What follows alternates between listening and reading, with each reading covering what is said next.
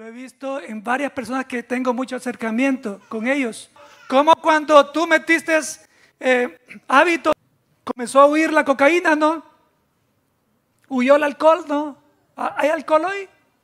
¿Por qué? Ahí está Lalo pegando baquetazos ahí, sirviendo a Dios, adorando. Pasó lo de la pandereta.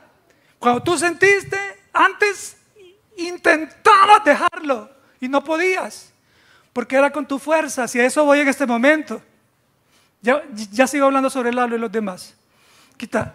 Mire lo que dice acá. ¿Cómo podemos cooperar entonces? Hagamos pareja con el Espíritu Santo. Colaborémosle. Digámosle, yo, Espíritu Santo, yo te ayudo en esto. Ah, no, pastor, ¿cómo le va a ayudar el Espíritu Santo si Él es todopoderoso? Sí, pero Él me regaló a mí la decisión, mi voluntad. Y yo tengo que agarrar mi voluntad, sincronizarla y lindársela a Él para que sea la voluntad de Él ahora en mi vida. Eso es lo que va a pasar. Entonces, mire la 12.2 de Romanos, por favor, conmigo. Ok. No imiten las conductas ni las costumbres de este mundo. Número uno, hermano. ¿Se da cuenta usted? Colaborando con el Espíritu Santo. No vamos a imitar las costumbres de este mundo. Más bien, ¿qué? ¿Qué? ¿Qué? ¿Qué? Dejen que Dios los transforme en personas nuevas. Al cambiarles la manera de pensar. Entonces, solo entonces aprenderán a conocer la voluntad de Dios para ustedes, la cual es buena, agradable y perfecta. Mire si no. Ok, yo, yo, lo que estoy haciendo a usted es guiándole en citas bíblicas para que usted vea qué es lo que tenemos que hacer para comenzar a dejar el pecado. Yo le voy a explicar a usted, le voy a guiar a cómo dejar de pecar. Yo nunca le voy a criticar a usted por pecar. Jamás. Esta iglesia no es así. Nunca voy a hacer un big deal con que usted esté pecando. Pero sí le voy a dar herramientas para que usted deje de pecar. ¿Trato hecho? Give me five. Ok. ¿Listos? ¿Se pusieron el traje de baño? Clavado entonces, al punto uno. Vamos, uno, dos, tres. Uy, caímos en el agua, en el agua, con agua, sin agua. Ah, ok, ¿qué hacemos para colaborar con el Espíritu Santo?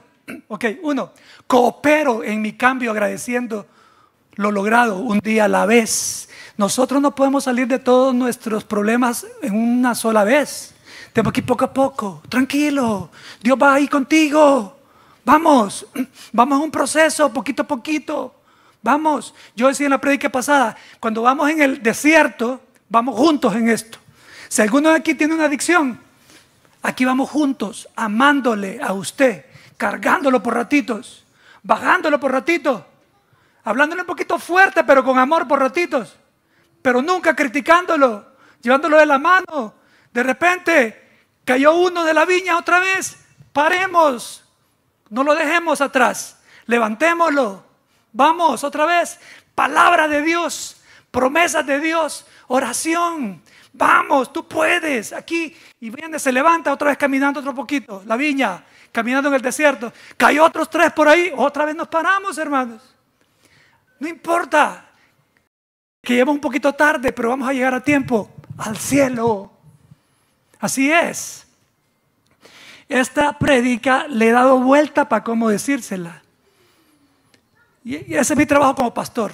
Orar y pedirle a Dios dirección para cómo explicarle a usted cómo va a ser su vida y cómo usted puede salir del pecado. Porque todos me ponga que me ponga, pecamos. Pero con la ayuda de Jesucristo, con la ayuda del Espíritu Santo y nosotros, vamos a dejar poco a poco el pecado.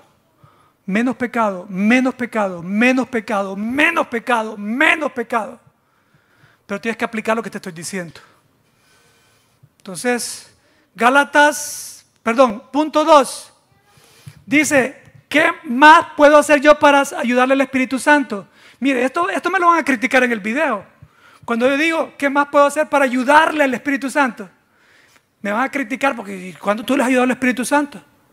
Y entonces yo le diría, pues, y, me dio el, albedrío. O sea, Él me dio la decisión para que yo decida si dejo entrarlo en mi corazón o no. Entonces yo voy a ayudar abriendo la puerta. ¿Qué dice la palabra? ¿Qué debes de hacer para, para que Jesucristo quite tus cargas? acércate a mí y yo me voy a acercar a ti. Pero acércate a mí primero tú y yo me acerco a ti. Tengo depresión. Señor, ven y ayúdame, por favor. Acércate a mí. Con la depresión yo te la voy a quitar. ¿Y cómo me acerco a ti? Congregándote. Viniendo a, las prácticas espirituales. Así es. Entonces, mire Gálatas 5:16 lo que dice. Para que vea que todo está completamente sincronizado con lo que estoy hablando. Mire, mucho gusto. ¿Sí? ¿Está bien? ¿Sí? ¿Sí? ¿Me permitís leer? Sí. Al estilo nicaragüense. Sí. Cerca el micrófono. Por eso les digo, dejen que el Espíritu Santo los guíe en la vida. Entonces no se dejarán, no se dejarán llevar por los impulsos de la naturaleza pecaminosa. ¿Qué les parece? Gracias, hermano. ¿Qué les parece? ¿No es buen secreto? Pero la hermana aquí quiere leer también, dice el estilo mexicano. ¿Está bien, hermana? Sí. Por eso les digo, dejen que el Espíritu Santo los guíe en la vida. Entonces no se dejarán llevar por los impulsos de la naturaleza pecaminosa. Amén. Gracias, hermana. Mire, vean, el Espíritu Santo es el que alimenta al Espíritu. Hábitos espirituales.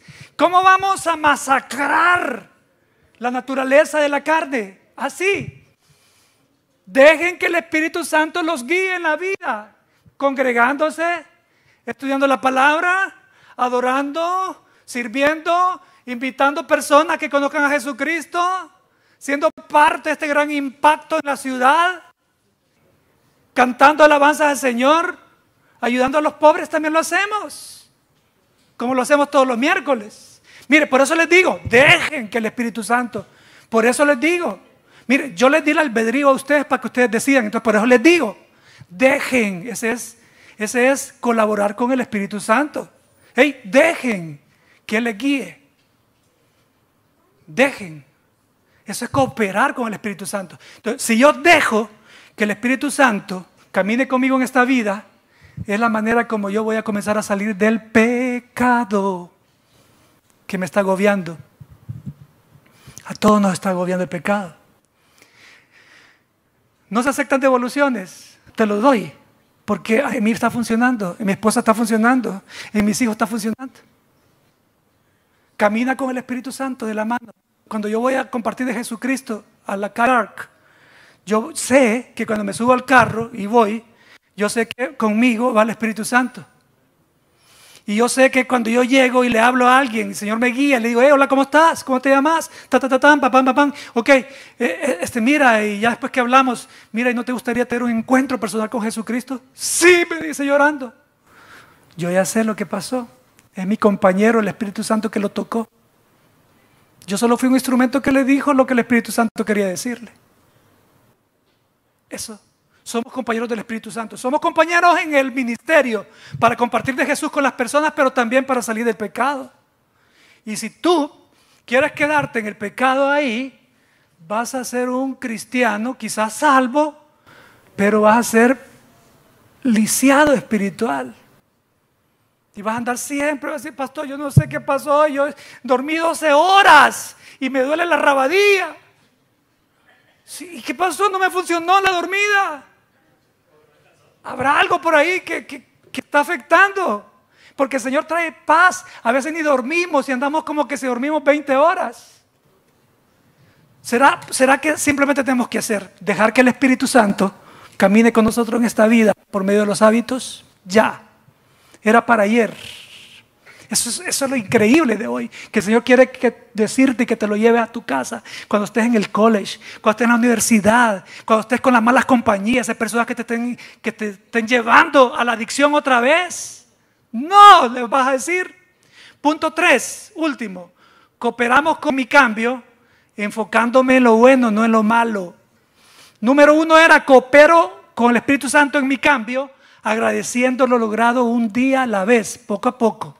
Y número dos, coopero en mi cambio, coopero con el Espíritu Santo enfocándome en el poder de Dios. No es por mis fuerzas, es Él el que lo está haciendo. Yo puedo prometer, prometo que hoy voy a dejar de fumar. Un día, bien, dije el viernes. Dos días, lo logré. Una semana, uh, un mes, Superman contra el cigarro. ¿ah? Tres meses después, como fue con mi fuerza, voy a caer de pique. Pero cuando lo hacemos a través de la pandereta que te acabo de hacer, va a ser diferente, ya vas a ver. Ha pasado aquí. Ha pasado. Y en las debilidades mías también ha pasado. No, aunque me rogué, no te las voy a contar, hombre. No, no. No te las voy a decir. Ni le pregunten a mi esposa porque no se los va a decir tampoco. Punto 3. Coopero con el Espíritu Santo en mi cambio, enfocándome en lo bueno y no en lo malo. Mire, enfoquémonos en, deshacernos de las amistades que nos están llevando más a fondo. Mire, perdóneme, pero si usted tiene amigos que son buenas personas en las ocasiones normales, pero lo están metiendo a usted más en pecado, guarde distancia, pero ámelos, pero no lo frecuente mucho. Es un consejo bíblico. Ah, pastor, ¿dónde está en la Biblia? Mire, no se lo traje, pero, pero búsquelo de tarea. Ok, homework. Ok. Primera Corintios 15, 33. Ok, Primera de Corintios 15, 33. Sí, pastor, pero dígame. Ah, pues lo voy a decir, pues está bien. Yo, yo puedo leer sus mentes. Ok. No se engañen. Las malas amistades corrompen las buenas costumbres. Primera Corintios.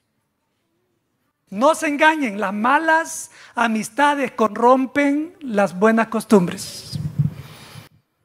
Si tú no quieres que te piquen las abejas, no te acerques al panal, papá. No te acerques al panal. Si no quieres que te piquen, pues no te acerques al panal. Es, lo mismo con nosotros. De esa manera colaboramos con el Espíritu Santo para salir del pecado. ¿Cuántos están listos aquí para salir del pecado? ¡Eh, amén! Amén. Sí, vamos a aplicarlo en el nombre de Jesús. Ok, si yo estoy luchando contra la marihuana, que claro que no, mucho cuidado, claro que no. Eh, si yo estoy luchando con la marihuana, yo no voy a ir a comprar, donde venden la marihuana, no voy a ir a buscar pupusas. ¿Sí? Porque ahí venden marihuana, no pupusas. O sea, yo tengo que saber juntar la sabiduría mía con eso, donde yo voy a ir. Yo no voy a ir donde me alimenten mi debilidad. Yo te aseguro que si tú vienes aquí a la viña, aquí nadie te va a condenar, porque ninguna condenación hay para los que están en Cristo Jesús. Entonces, estás en un lugar seguro, pero tenés que frecuentar aquí. Deja de frecuentar tus malas amistades y comenzar a frecuentar tu casa para que comiences a dejar el pecado. Es lo que vamos a hacer.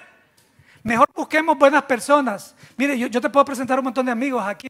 Te va a influenciar positivamente. Todos nosotros podemos ser tus amigos. Hermanos, está clarito cómo lo vamos a hacer. Yo te invito hoy que a partir de mañana, lunes, hoy mismo en la tarde, comiences a salir del pecado. Pastor, eso suena bien mal que salga del pecado. Es que hermano, yo ya les dije que todos somos pecadores, ¿no? Todos somos pecadores. Vamos a ver, levanten la mano todos los que tienen adicciones acá. Eh, solo yo. ¿Qué pasó? Necesito explicarles qué es eso. Hermana Ladi, ¿verdad que todos tenemos adicciones? Dígame dos adicciones que no sean ni alcohol, ni droga, de, nada de eso. Dos diferentes adicciones que no sean ni cocaína, nada de eso normalmente que le llaman ellos adicción. Sí, sí, una. Una a la comida, otra puede ser al trabajo también. Workaholic. La codependencia. Oh, sí, también. Adicción a una, una persona que le hace daño. ¿Y, cómo se llama esa adicción en donde usted le picó un zancudo y usted piensa que tiene cáncer? ¿Cómo que le dice? Hipocondríaco. Sí, hipocondríacos, hipocondría. ¿Quién es hipocondríaco aquí? Levante la mano. Ah, no vinieron. ¿Sí? ¿Se da cuenta, hermano, que sí tenemos todas adicciones? Puede ser que el mío sea el exceso de trabajo. Trabajar mucho, mucho, mucho, mucho. A mí me pasan regañando allá al otro lado. Me han obligado que los lunes, pues no le van a contar que no puedo contestar teléfono. Ese día descansás, me dijo, sí o sí. Y yo, yo soy sincero, sí, sincero, yo siempre les contesto, pero, uy, ya me van a regañar. Pero ahí está, Alberto, háblenle ahí los, y a Laura háblenle ahí, a Margarita ahí háblenles los lunes. No, no, pero e, eso me han dicho a mí, a veces uno está demasiado metido en el trabajo, se lleva trabajo para la casa, para todos lados. Pero es que también ese es amor, hermano. ¿Verdad que sí? El amor entre nosotros, queremos verlo a usted levantado fuera de toda práctica que le esté a usted afectando su vida, ¿no? Siempre estamos pensando qué hacer para que poder explicarle mejor a usted, para que use las herramientas y mantenga fuerte su relación con Dios. Eso es lo que pasamos mi esposa y yo hablando. Mejor busquemos buenas personas que nos den buenas influencias, hermanos. Pablo a una iglesia como la viña les dijo, hey, ustedes dos dejen de estarse peleando, ustedes son, son lindas personas, ustedes están haciendo bien, el ministerio, pero están discutiendo ahí, por favor no, no estén discutiendo, les dijo. Pablo, le estoy contando un precontexto para lo que lo vamos a leer. Después dice, hey, iglesia, alégrense aún que estén cayendo proyectiles del cielo. Alégrense aunque, aunque, aunque no les alcanzó el dinero este mes. Dice Pablo y está predicando así. Alégrense, mejor pídanle, oren y pídanle al Señor que les provea. Tolérense los malos modales entre ustedes. Sí, porque ustedes creen que comer mal, no usar los cubiertos para comer. Va, y de repente estás comiendo con los cubiertos y de repente decís, ay, última hora yo no sé usarlo, así que ahí con la mano. ¿Tú crees que eso te va a mandar al infierno? No, entonces a veces no es culpa de nuestros hermanitos que no hayan aprendido a usar los cubiertos. Y, tolere los hermanos. Ay, es que no le tolero a esa hermana esa hermana, mire, me vio mal, me vio mal. Venía entrando y me vio así, me dice, me, vio, hermano, usted no se dio cuenta que este ojo no lo puede abrir. Sí, así es la hermana, así. Es, es verdad, esto ha pasado, aquí mismo ha pasado. Pablo está diciendo, tolérense, la palabra de Dios nos ofrece a nosotros el secreto de cómo vamos a salir de pecado. ¿Por qué? Cuando Satanás te diga, mira, lo tuyo ya no es un pecado, es un deporte, no, tú ya no puedes salir de eso, hombre. Si has estado años repitiendo ese mismo pecado, tú mismo has estado en la droga tantas veces, ya no vas a poder salir. Y tú le puedes salir con la palabra. Ninguna condenación hay para los que están en Cristo. Yo estoy en Cristo Jesús. Le vas a decir tú con la palabra. O le puedes decir, todo lo puedo en Cristo que me fortalece. ¿Ves? Tú mismo vas a ir contrarrestando. Pónganse de pie, por favor, y terminamos. Hermanos, en pocas palabras, en resumen, en resumen, para que tú puedas comenzar a salir de tus pecados, lo que tienes que hacer es lo que dice esta cita bíblica. Dice así, Romanos 12.1, dice así. Por lo tanto, amados hermanos de la villa, les ruego que entreguen su cuerpo a Dios por todo lo que Él ha hecho a favor de ustedes. Y aquí viene lo interesante, hermano, porque no es un cuerpo muerto que le vas a entregar. Así vivito como estás. Que sea un sacrificio vivo y santo. La clase de sacrificio que a Él le agrada. Esa es la verdadera forma de adorarlo. Amén. Gloria a Dios. Ora conmigo, Dios Padre. La palabra vendido. Señor, yo he tratado de decodificar lo más que he podido lo que tú me dijiste que dijera y que me dijiste a mí. Yo te pido en el nombre de Jesús que tu Espíritu Santo pueda recordar estas palabras a mi hermano de aquí hasta que entre al cielo para que comience, Padre, de tu mano, Espíritu Santo, salir del pecado y venir y avanzar en ese, en ese proceso de santificación. Primero, caímos en pecado. Segundo, tú nos conociste desde antes y ya tenías un plan. Luego tú nos predestinaste, o sea, nos escogiste. Luego tú nos, nos llamaste. Después tú nos justificaste. Luego nos santificaste. Estamos en ese proceso, Señor, en el cual, Padre, te queremos ofrecer también, Padre, nuestra disposición es ayudar, Padre, en lo que corresponde, Señor, enfocar nuestra mente en ti, Eso es lo que vamos a hacer, acercarnos a ti, Padre, traerte las ansiedades a ti, traerte la depresión a ti, así como dice la Biblia, traerte las cargas a ti para que tú te deshagas, Señor. Trae tu paz a nosotros en el nombre de Jesús para poder estar listos, Señor, cuando tú vengas, Señor, y, llegar a la perfección completa que va a ser la, la, la, la perfección. Tú nos vas a perfeccionar cuando muramos, Señor. Pero para mientras queremos un proceso lo más posible de alcanzar la santidad. Padre, para terminar esta oración, yo te voy a pedir lo más importante. Tú lo sabes que te lo pido de noche, de día, toda hora. Mi petición principal es, no es material, es agradarte en todo. Agradarte en todo es mi petición natural, mi petición principal. Pido agradarte en todo, Dios. Ayúdame en ese proceso, en Cristo Jesús, Señor nuestro. Todos decimos, amén. Gloria a Dios.